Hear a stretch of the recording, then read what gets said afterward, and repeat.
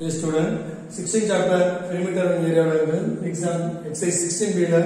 question number 5 பார்க்கலாம் the area of a rectangular frame is 1125 square centimeter if its width is 25 centimeter what is its length ஒரு rectangular shape ல உள்ள frame ஓட area is 1125 square centimeter and அதோட width width என்னன்னா breadth breadth எவ்வளவு கொடுத்திருக்காங்க 25 centimeter what is its length அதோட length என்னன்னு find out பண்ணணும் solution given a rectangular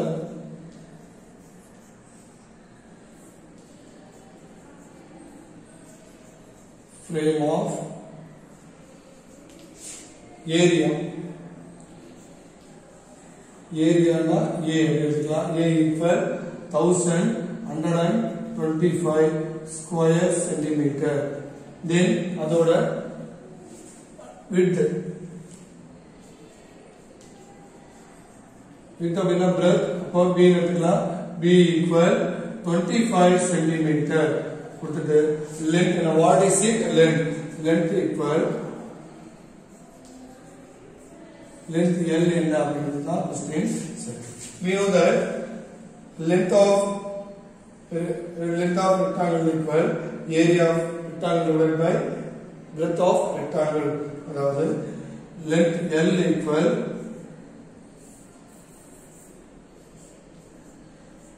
area divided by breadth இந்த ஃபார்முலா இருக்கு இந்த ஃபார்முலாவோட தான் நம்ம என்ன பண்ணலாம் இந்த வேல்யூஸ் சப்ஸ்டிட் பண்ண போறோம்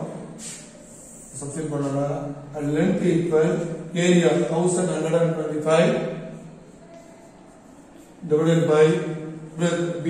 is 25 என்ன பண்ணலாமா? 125 star 25 இங்க 425 star 100 பேலன்ஸ் இங்க 12 இருக்கும். அந்த 12 இங்க போட்டோம் அப்படின்னா மறுபடியும் 125 இருப்பாங்க. அந்த 125 ல 525 star 125 therefore 45 divided by 1 ஒன்னால இது டிவைட் பண்ணாலும் அதே வேல்யூ தான் கிடைக்கும். So we get length equal 45 centimeter. Therefore the length of a rectangular frame is 45 centimeter